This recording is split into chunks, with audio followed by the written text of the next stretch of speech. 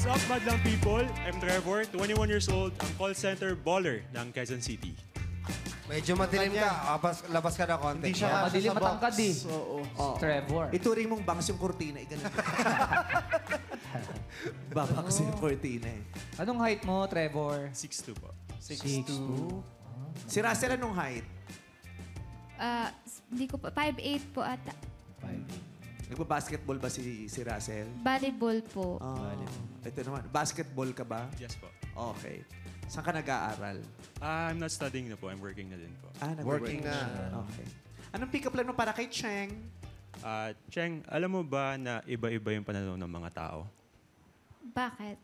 Kasi tulad ko, walang ibang tinatanaw kundi ikaw.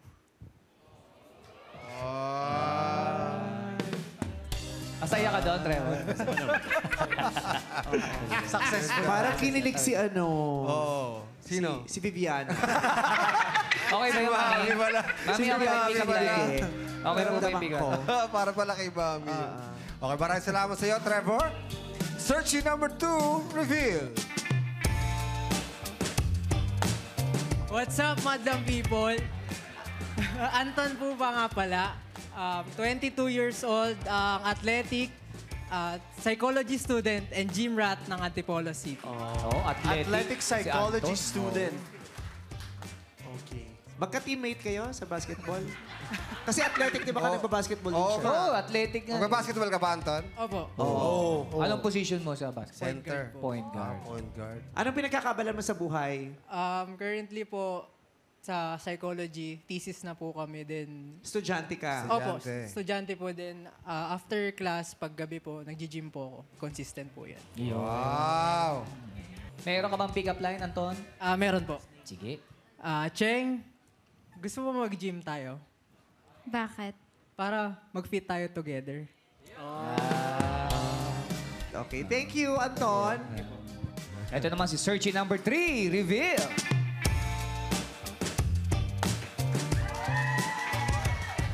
What's up, Badlang people? I'm Zemin, 24 years old, ang chinito entrepreneur ng Tondo, Manila. Oh. Zemin. Ano yung negosyo mo?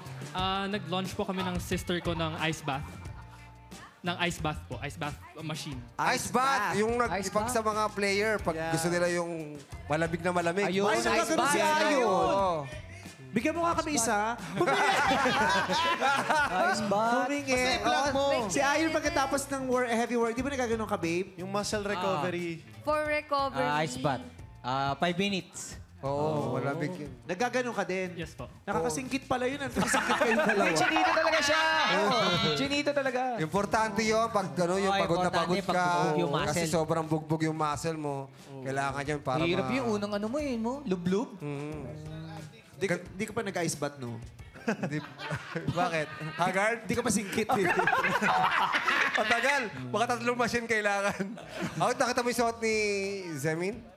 Suot? Ganda, no? Bakit? Oo, kasi nga yung apelido niya, formal. Semi-formal. Zemin for Zemin Forman? Oo, oh, Zemin formal. Oo. Pangalan niya X. Examine. Meron sila examine. Examine. Apelido niya yan, ano? To. Oh. Zemin to.